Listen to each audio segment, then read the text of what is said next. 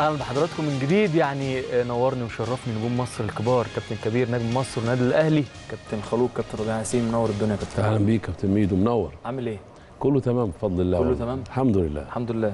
أيضا نجم مصر والنادي الأهلي كابتن كبير كابتن سمير كمونة حبيبي كم منور يا ميدو حبيبي. ربنا يكرمك. عامل إيه؟ توفيق الحمد لله. تمام. إيه يا أبو الكباتن؟ عايز نبدأ منين؟ نبتدي بإن خلاص يعني صبرنا.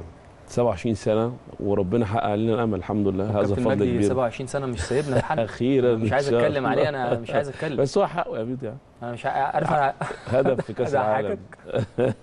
كلمته قبل قبل الهوا. بقول له يا كابتن مجدي عامل إيه؟ صوتك ماله مش مظبوط كده. قال لي لا أنا تعبان شوية بس مجهد. قلت له لا زعلان.